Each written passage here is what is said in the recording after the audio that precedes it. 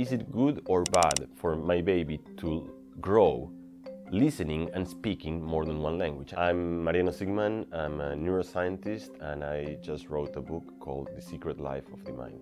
It's very hard to find places where people speak just one language. It's not only beautiful in a way, and it's not only a way that, that opens the possibility to, to talk to many more people and to learn more things and to broaden our minds to other places of the world, but also that it's somehow like associated with, with intelligence. So is it good or is it bad?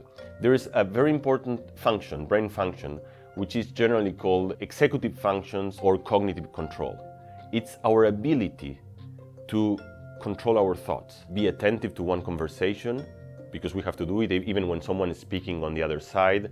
It's our ability to persist doing something even when our brain is telling, I'm, I'm tired, I don't want to do that. So it's in, in, a, way like being pilots of our own existence. This is called cognitive control.